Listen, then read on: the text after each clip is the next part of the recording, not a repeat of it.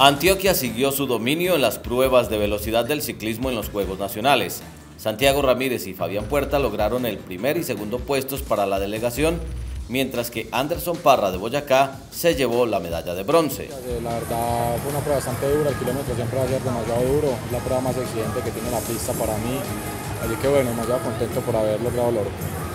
Este joven corredor marcó un tiempo de un minuto, un segundo y 210 milésimas que le sirvió para derrotar a dos grandes especialistas en esta prueba, que es una de las más exigentes del ciclismo en pista. Ah, eh, para mí es demasiado motivante ganarle a Fabián, que ya que es uno de los mejores velocistas que, hay en el mundo ahorita, así que está arrancando las copas del mundo, así que para mí es demasiado, demasiado bonito, él es un kilómetro excelente y bueno, la verdad esta vez, esta vez gané yo y, y voy para adelante con la ayuda del Señor. El equipo de velocidad en ciclismo de Antioquia ha ganado las cuatro pruebas que se han realizado.